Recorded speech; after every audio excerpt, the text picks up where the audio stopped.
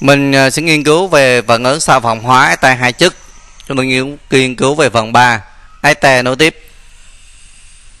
Phần này là phần nâng cao, chứ không phải phần cơ bản em nha. Tất cả những câu phần này đều khó cả. Rồi, chúng ta sẽ có một số st nối tiếp như sau. Ở đây thầy lấy cho bạn ba ví dụ. Đây em ơi. Ở đây chúng ta st nối tiếp thì nó có dạng như thế nào? Đây st nối tiếp có dạng là r, c, o o, r phải. C, o o, r hai phải. Thế nào gọi là nối tiếp? C, o o, nối tiếp c, o o, được chưa? Như vậy, thằng nào thuộc về co thì thằng này đó gắn ona vào. Thằng này gắn à, h vào.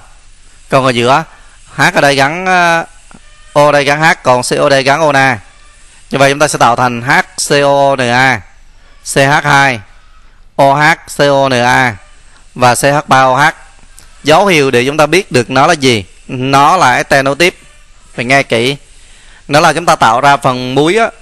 Phần muối là muối của axit đơn chất và ancol đơn chất. Được chưa? Và chúng ta, khi chúng ta axit hóa thằng này thì nó biến thành hợp chất hữu cơ tạp chất. Em hiểu? Khi mình axit hóa thì thằng này là CH2 OH giữ lại. Nó biến thành COOH được chưa? Đó. Khi chúng ta tìm được này tìm được axit đơn chất, muối của axit đơn chất. Chúng ta tìm được ancol đơn chất. Đây là ancol đơn chất này và muối của axit đơn chất thì khẳng định thằng ban đầu là nối tiếp hoặc không có tìm được hai thằng này, em tìm được thằng ở giữa này. Em tìm được nó là gì? Nó là tạp chất thì cũng khẳng định nó là tay nối tiếp đó là những cái triết lý để chúng ta kiểm tra được cái tay nối tiếp như này tương tự. Phần này gắn, em gắn gì vào. Gắn ona vào. Đây. Thấy chưa? Nhưng em lưu ý cho thầy chỗ này như sau. Chỗ này hơi phức tạp nha, thầy ghi dưới này này. Ở đây em sẽ có đó là gì? Ch2 ch này. Oh này, đúng không? Ở đây là nối đôi này. Ch này. Coo na này. Đúng không em? Carbon mà chứa oh này. Được chưa? Liên cái đôi thì kém bền. Nó sẽ biến thành ch chó. CH2 COONA được chưa em?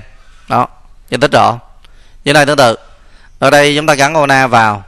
Gắn uh, H vào. Được chưa? Ở đây ta còn lại là C6H4 O H COONA chúng ta biết rồi OH này có thể tác dụng được với NaOH để để biến thành ona luôn. Được chưa? Và khi chúng ta hy axit hóa thì thằng này là tạo thành C6H4 này O này H này COO Na này được chưa? Như vậy em thấy này, thằng đi tạp chất này thấy không? Thằng đi tạp chất, khi mà mình xuất hiện được thằng đi tạp chất thì dấu hiệu là chúng ta sẽ khẳng định được thằng đi là gì? Thằng đi dạng nối tiếp. Đó. Chúng chúng ta đến cái ví dụ số 4 này. Rồi. Ở ví dụ 4 này người ta cho như sau. Đây. Đi tới dùng với NaOH thì chúng ta coi. Phần này chúng ta gắn với ONA này. Bây giờ thằng này mình gắn với H này nhưng kém bền biến thành xếp ba chó. Ok chưa? Còn ở giữa này. CH2OH COONA vậy thôi. Như này. À, gắn na vào. Gắn ONA vào. Gắn H vào. Ở đây chúng ta lưu ý cho thầy như sau. Thằng này là gì? HCOO chúng ta nghe kỹ. HCOONA CH3COONA thằng đi thuộc về axit em nha còn dưới này chúng ta gắn hát vào, gắn hát vào. Thầy giải thích cái dưới này.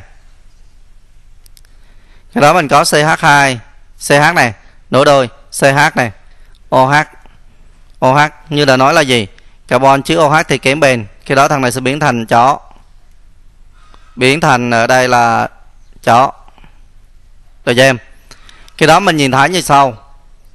Ở đây chúng ta có tổng là đây, chó ở đây em có tất cả tổng là mấy hero nhỉ bốn hero mà đây còn hai có hai hero à? Nhưng mà hai hero đây đi sẽ tạo thành nước. Được không em? Rồi. Một carbon mà gắn một carbon gắn OH là kém bền biến thành chó này. Biến thành chó này. Rồi. À, chúng ta đến tiếp theo. ST nối tiếp rồi. Bây giờ chúng ta sẽ đến một bài toán cụ thể vẽ tay nối tiếp rồi làm sao biết chúng ta được, biết được nó là tay nối tiếp? Đúng không ạ? Rồi. Ở đây người ta cho như sau. Cho sơ đồ phản ứng theo đúng tỷ lệ mol tất cả các câu bây giờ là nó cho hướng này hết đúng tỷ lệ mol ở đây có nước em nha. Cứ mỗi lần có nước thì em phân tích cho thầy như sau. Nước từ trong này phải có axit. Không thì có C6OH không thì có COO COO CH được chưa? R phải. Rồi. Bây giờ chúng ta có này x1 của chúng ta khi axit hóa thu được x4 như vậy x1 của chúng ta là muối natri. Bây giờ thằng này có dạng CONa chúng ta hiểu như thế này. Thằng này có dạng CONa mà khi tác dùng với gì? À, với axit thì cần hai axit luôn đúng không? Như vậy ở đây máu chốt ở đây chúng ta có một cái triết lý mới nữa này. Khi mà nó axit em hiểu này. Khi tác dùng với axit được chưa? Mà nó ở đây nó tác dụng với tỷ lệ là hai lần. Điều chứng tỏ là thằng này chắc chắn là muối của axit đơn chức COO được chưa gắn NA vào. Đây là hai. Còn trước là cái gì đó thì từ từ là mình phân tích được. Rồi. Như vậy x4 chúng ta chắc chắn là muối của axit đơn chất rồi. À, rồi. Axit đơn chất rồi. Như vậy x4 chúng ta là có dạng là COOH rồi. Còn gì đứng đầu thì chưa biết. Được chưa? X1 là gì? X1 là COO NA rồi. Được chưa em. Rồi bây giờ chúng ta tiếp tục phân tích này. Cái x3 này em ơi x3 chúng ta này. X3 cộng x4 với h24 đặt nhiệt độ thu được x5 vào nước. Uhm. em nghe kỹ. À, x vì x1 chúng ta là axit rồi đúng không em? Thì x2 và x3 chúng ta phải là ancol nhưng mà cũng chưa xác định được nhưng ở đây người ta cho rõ được cái cấu D này. X5 chúng ta đi điều chế ra thủy tinh hữu cơ. Đây em ơi. À, chắc mà đĩa điều chế ra thủy tinh hữu cơ thì nó có tên đó là metin meta acrylac CH2 nối đôi C CH3 COO CH3 đây đọc hoặc là metin meta acrylac rồi như vậy sau khi mình xác định được x5 rồi đúng không em? Mà x5 chúng ta được tạo thành từ đâu? Từ x3 và x mấy? X4 đúng không em? Như vậy x5 của chúng ta là gì? Là st thì nó đi từ axit và ancol. Đúng không em? Như vậy x4 chúng ta sẽ có dạng đó là gì? Đây này. X4 chúng ta sẽ có dạng này. COO phần này là phần đầu của x4 và x1 đúng không ạ? Như vậy đây, ta sẽ sửa lại đoạn này xíu. Rồi, ý 4 của mình thì nó sẽ có dạng như sau. Đó là CH2 nối đôi C. Được chưa? CH3 x1 cũng vậy, ta sửa lại luôn. Được chưa? Đây là x1 này đây là x4 em nha. X4 này. Còn x1 chúng ta là CH2 này nối đôi này, C này CH3 này CONA này đây là x1 rồi. Như vậy chúng ta còn x mấy nữa nhỉ x3 x3 đây là gì? X3 là phần còn lại đó. X3 chúng ta là CH3OH rồi. Sau khi xác định được x4 x5 x2 chưa nhỉ x2 chưa? Mà x2 chúng ta tạo thành x6 ừ thì kệ nó đi nhưng ở đây người ta cho là x chúng ta có công thức phân tử là như thế này. Rồi. Rồi x chúng ta có công thức là như thế này. Thì chúng ta đi tính k giúp thầy k thằng này bằng bao nhiêu? Tính em ơi. Em lấy 12 nhân 2 trừ đi 12 cộng 2 tất cả em chia cho 2 thì k thằng này bằng 7 à k này bằng 7 k bằng 7 mà trong này chúng ta có 4 oxy. Em hiểu? Có 4 oxy thì trong này chúng ta sẽ còn lại, đó là gì? K bằng 7 k bằng 7 em ạ. Đây. Bây giờ x của chúng ta phân tích này. Bây giờ x của chúng ta là có cái dạng đây rồi. Được chưa? Thằng đi mình sẽ gom lại. Thằng đi gom lại. 1 2 3 C3H5 ha? COOH rồi. Bây giờ chúng ta coi thử nha bây giờ là chúng ta biết x2 là gì? X2 của chúng ta giống như x1 luôn. Vì sao? Vì nó là gì? Nó là muối, đúng không ạ? Đúng không em? Muối của, muối COO nhưng mà ở đây chúng ta thấy này, tác dụng với na, với HCl theo tỷ lệ mol là 12 điều chứng tỏ là trong này phải có cái dạng ONa CONA hoặc là ONA của C6 và chúng ta phân tích được cái K này bằng 7 này. Mẫu cho đây là K bằng 7 K bằng 7 thì trong này chắc chắn có chứa vòng benzen em ha. Chắc chắn có chứa vòng benzen đó là điều khẳng định của thầy rồi vậy em hiểu như thế này. Mà ở đây nó có sinh ra nước nữa có sinh ra nước nữa. Như vậy trong này nó sẽ chắc chắn có dạng là à, C à, quay nãy là thiếu rồi thiếu một trường hợp này em ha. COO C6 vẫn là sinh ra nước được đúng không? Thiếu thằng này. Như vậy trong trường hợp này nó sẽ có dạng là CO C6 đó. Khi mình phân tích được những điều này thì nó sẽ rất là đơn giản luôn. Đây. Như vậy x của thầy như sau. Sẽ có dạng COO COO rồi chúng ta nghe kỹ. Ở đây nó là đã là C3H5 rồi. Đúng không? Em hiểu như thế này.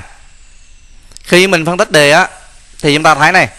Ở đây mình sinh ra cái thằng x3 chúng ta là anh côn đơn chức đúng không? Như thầy đã nói. À, x4 là xích đơn chức thì thằng này sẽ không bao giờ là xc dạng 1 hoặc dạng 2 mà là nó là dạng ST liên hợp. Chúng ta bỏ thằng này đi. Khi nói ST chúng ta bây giờ chắc chắn phải có dạng này. Đó là gì? R R phải COO R2 phải. Đó, em hãy nhớ điều này nha. Bây giờ tương đương này. Thằng này mình biết tăng đầu, ban đầu nó là C3H5 COO tức là biết được x1 x4 đấy. Hiểu? Để mà tạo ra được, hiểu này, để tạo ra nước, thì như thầy đã phân tích là gì? Nó phải có dạng là COO C6 như vậy thằng này sẽ là C6 C6H4 được chưa em? Rồi. Bây giờ nó coi này. Ở đây chúng ta, nếu ở đây C6H4 thì thì giả sử đây nó chỉ là C6H4 thôi CO thôi. Thì em kiểm tra cho thầy đây CH3 nó thỏa mãn đủ 12C chưa? 3 này 4 này 5 6 này 6 6 đủ 12 này. Kiểm tra nhá. Tiếp tục là gì? Ờ, à, OC6 này điều kiện để tạo ra hai muối đúng không ạ? Điều kiện đây là nó tác dụng với NaOH theo tỷ lệ mol 13 này. Đây à, một CO một CO là hai NaOH với OC6 là ba NaOH này có OC6 tạo ra một nước này. Như vậy thỏa mãn hết rồi. Như vậy x của chúng ta là như vậy. Đó, mấu chốt ở đây là phải dựa vào đây này, thầy nói lại nhé. Là mình phải biết được x3 là đơn chức. X4 là đơn chức, thì thằng này là nối tiếp đó là điều khẳng định rồi. Và chúng ta tính được k bằng 7 thì niềm tin chắc chắn có OC6 được chưa? Nghe kỹ lại đoạn này. Đây. Ờ, k bằng 7 đúng không ạ? K bằng 7 rồi, k bằng 7 thì trong này nó có là hai nhóm chất CO được chưa? Là k bằng 2 à, vòng bên benzen k bằng 4 và cái liên cái đôi của C3H5 này nữa là thỏa mãn thỏa mãn k bằng 7 và chúng ta có xì hiện tượng sinh nước. Sinh nước mà chúng ta có như thế này này do tỷ lệ mol là 13 thì ở đây axit bỏ này thằng đi bỏ này thằng đi bỏ này được chưa? Thằng đi được này vì chúng ta xác định được ancol là ancol là CH3OH được chưa em? Rồi thằng này là dạng nối tiếp này em ha. Nối tiếp mới có dạng này. Rồi như vậy sau khi được phân tích được x1 thì chúng ta sẽ phân tích được x thì chúng ta sẽ suy ra được x2 x2 của mình bây giờ nó là C6H4 này O Na này COO Na này. Em ha? Phần này là thuộc về x4 này. À, thằng này thuộc về x1 này. Thằng này thuộc về x3 này.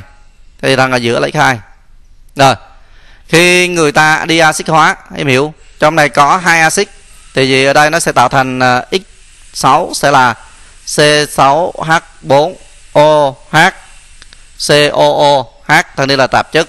Được chưa? Rồi yêu cầu chúng ta là phát biểu nào sau đây là không đúng. Câu A 2 mol x3 tác dụng với NaOH thu được một mol hydro.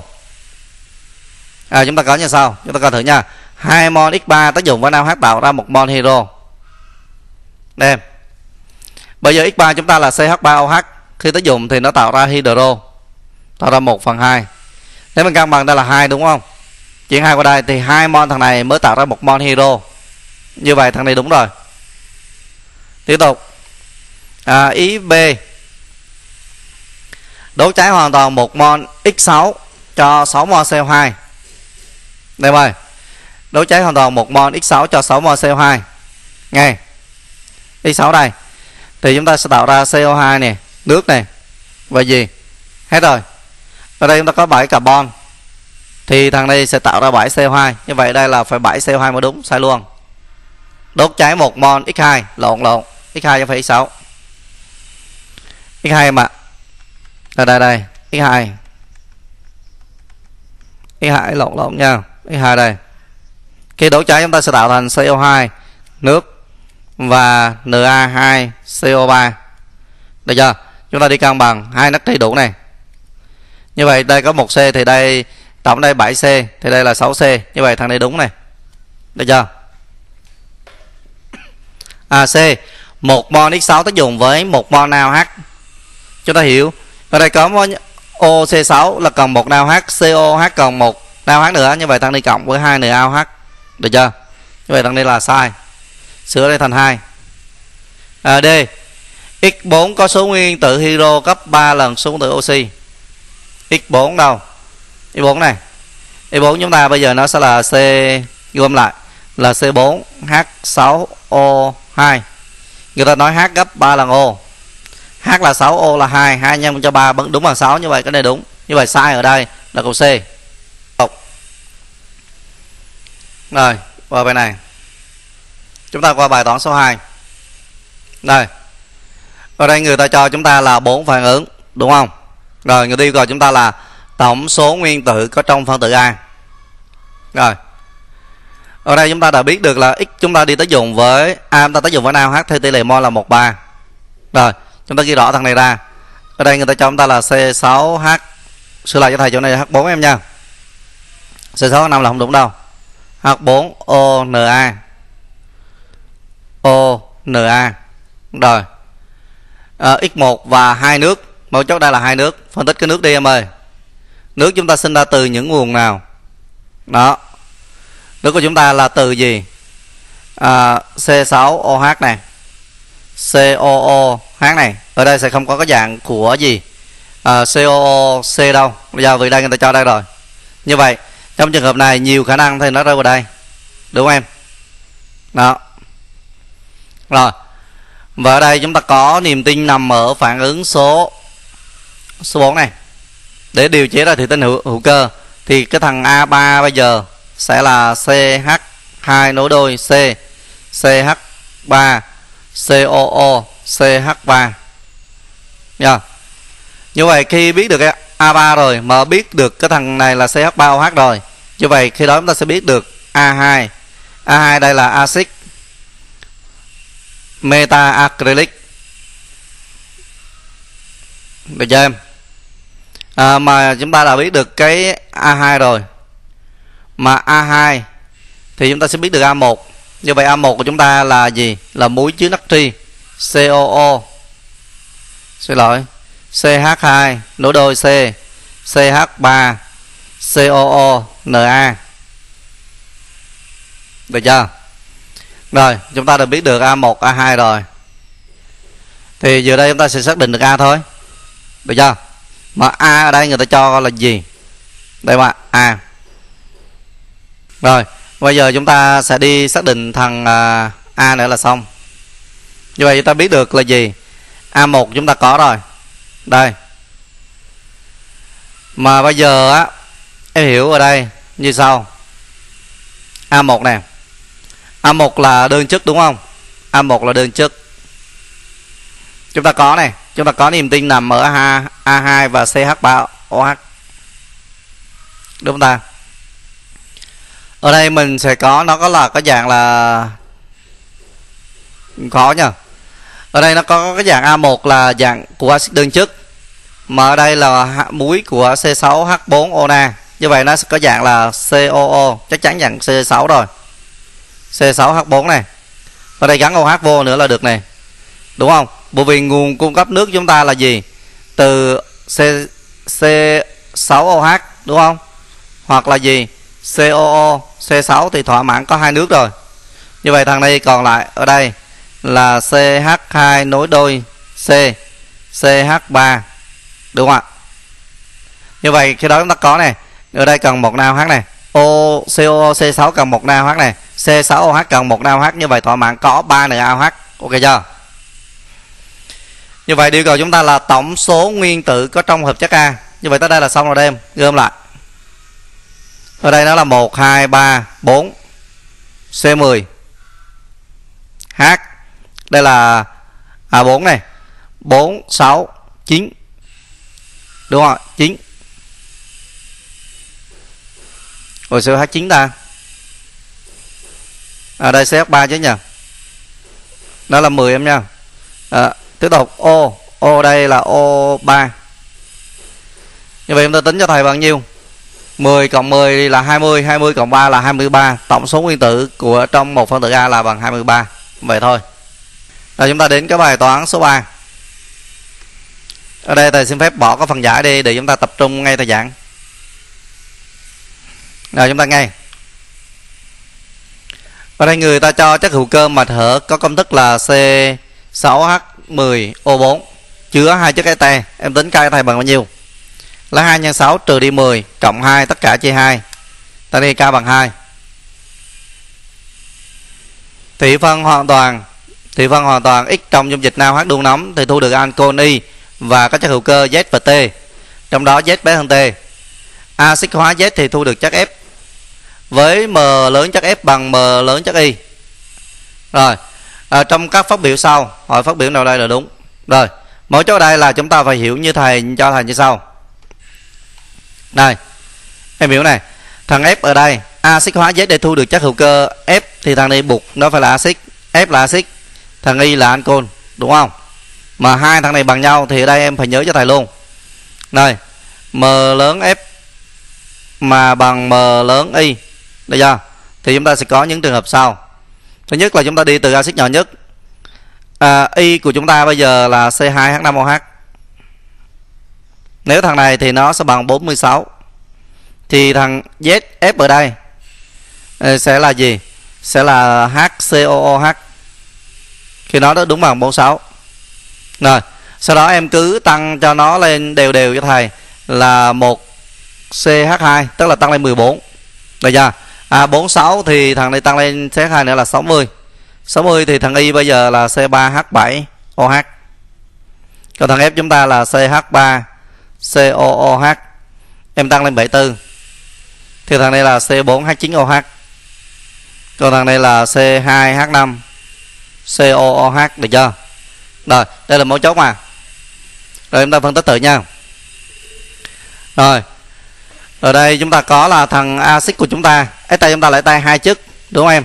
Ấy tay chúng ta lại tay hai chức, COO COO rồi. Khi mình đun nóng á, thì mình thu được chất hữu cơ thu được một ancol thôi thu được một ancol. Đây em hiểu. Do số C chúng ta khá là ít em hiểu không? Số C chúng ta có bao nhiêu thôi? C6 thôi. Thì nếu mà mình chọn có thằng đi mà 4 á và 3 thì bên này nó sẽ là gì? Khó lắm. Do đó ở đây thầy sẽ chọn hai thôi thầy chọn hai không được, thì thầy tăng lên. Đó. Chúng ta sẽ thu được một ancol đúng không? Rồi. Và ở đây chúng ta có luôn nè. Chúng ta thu được anconi rồi. Và chúng ta thu được các chất hữu cơ, Z và T, đúng không? Rồi. Mà ở đây á, nếu mà bạn làm như thế này là bạn sai rồi. Bạn biết tại sao bạn sai không? Thầy giải thích này ở đây như thầy đã nói là gì? Khi chúng ta xuất hiện ancol đơn chất này và axit đơn chất, thì thằng này là tay cái dạng nối tiếp. Ở đây mình làm như thế này, nó không thuộc dạng cái tay nối tiếp. Như vậy chắc chắn là bỏ. Bây giờ, kinh nghiệm để làm ester tay dạng nối tiếp đó là chúng ta xác định được axit đơn và ancol đơn, thì 99% nó là tay đơn, cái tay là dạng nối tiếp. Như vậy ở đây thầy sẽ có, đó là gì? Đây, thầy biết được cái thằng axit của mình nó là gì? Nó là HCOO đúng không em? Thằng R này kệ nó COO thầy biết được ancol rồi. C2H5 mà tổng mình có mấy C em nhờ? Tổng mình có 6C hiện hữu ở đây cho thầy là 4C rồi. Thì R chúng ta sẽ còn lại là C2H4 đúng không? Mà C2H4 chúng ta có hai đồng phân. Đó là HCOO CH CH3 COO C2H5 hoặc là gì? HCOO CH2 CH2 COO C2H5 đó em thỏa mãn được chưa? Thỏa mãn được có 6C chưa? Và thỏa mãn được có 10 hero luôn. Vì mình tính cao rồi. Như vậy thầy đã xác định được xong, đây là x1 và đây là x2 được chưa? Rồi, ở đây là y và đây là f. Như vậy, cái thằng thằng z đây là thằng nào? Đúng không ạ? Thằng z và thằng t. Zt là thằng nào? Đây giờ đây chúng ta xác định được đây là z này. và đây là t z đây chúng ta là gì? Ờ, à, z của chúng ta khi axit hóa thì thu được f đúng không? Như vậy Z của chúng ta là HCOONA còn T chúng ta đó là gì? T đây. T ta ghi hai thằng này giống nhau. Ta ghi C2H4 em nha. Ta ghi C2H4 C2H4 này. Rồi OH này đúng không? COONA ta ghi một thôi. Thằng CH4 là tượng trưng cho hai thằng này. Chúng ta sẽ có hai công thức của T đó rồi. Rồi, sau khi chúng ta đã xác định được x, y, đúng không ạ? Z, t và f rồi, thì bây giờ chúng ta sẽ đi khảo sát các phát biểu. Phát biểu thứ nhất. Chất x có khả năng tham gia phần tán gương chính xác rồi. Thì chúng ta có HCOO tán gương đúng. HT có dạng format là tán gương đúng. Hai, dung dịch y hòa tan được cu hai lần y đâu? Y chúng ta coi là c 2 5 oh thì không thể hòa tan được. Sai. À ba axit hóa chất t thì thu được hợp chất hữu cơ tạp chất. Đúng. Đây. Khi mình axit hóa thì thằng này sẽ tạo tạo thành uh, giả sử là quy đi. Đúng không? Là C2H4 OH COO Na tạp chất. Vì CH vì cái chất ancol và chất axit thì nó là tạp chất. Đúng à 4 chất F là axit carboxylic đơn chất. Đúng. Đây. À, 5 chất F ở đây chất Y ở đây có thể điều chế từ ethylene. Y đâu? Y là ancol ethylic này được này. Ethylene chúng ta đi cộng nước đúng không? Để tạo thành ancol ethylic CH3 CH2OH thế thôi. Như vậy thằng này đúng. Như vậy đây chúng ta có bốn phát biểu đúng, cô đúng ở đây là câu B. Rồi, như vậy bài này mấu chốt nằm ở đâu? Đây em ơi, em gặp cái tình huống mà khi cái axit bằng ancol đó ha, thì nó thường nó là nó là đơn chất thôi, chứ còn đa chất thì không có điều này nha. Cái đó lại nha, cái axit mà bằng ancol thì chỉ có thể là đơn chất thôi, mà chúng ta khảo sát giá trị nhỏ nhất là 46 bởi vì axit nhỏ nhất trong hữu cơ đó là COH là 45 rồi, H đứng đầu nữa là 46 không thể khảo sát nhỏ hơn nữa chúng ta đừng lái CH3OH khảo sát làm gì. Vì vì CH3OH chúng ta có 32 thôi. Riêng nhóm chất axit COH đã đã lớn hơn 32 32 rồi. Nó bằng 45 mà. Được chưa? Khi đó thì thầy sẽ xét các trường hợp. Được chưa? Vào đây, thầy nhận thấy đó là gì? Khi mà thủy phân ra, chúng ta thu được ancol đơn và axit đơn. Thì điều này chứng tỏ là cái te ban đầu chúng ta lấy te hai chất cái dạng nối tiếp. Nó không có thể là te dạng một hoặc dạng hai, mà là dạng ba te nối tiếp phân tích được điều này là thành công được một nữa như vậy, khi đó nó có dạng là mình đã biết được phần axit rồi, phần ancol rồi. Còn cái thằng r này tính sau đi, đúng không? Phân tích ở đây thì mình thấy nó có tất cả là bốn carbon này, đúng không? Thì cái r ở đây chúng ta còn lại là hai carbon. Hai carbon đây là c 2 h 4 c 4 thì chúng ta có hai đường phân. Được chưa? Như vậy trong bài này thì x của chúng ta có hai đồng phân, t có hai đồng phân. Và nếu axit q chúng ta sẽ là có hai đồng phân. Đó, là những điều mà chúng ta cần lưu ý cho thầy. Và chúng ta đến tiếp tục nha ờ hết rồi. Thầy xin phép dừng uh, lý thuyết ở đây. Chúng ta chuyển qua bài tập em nha.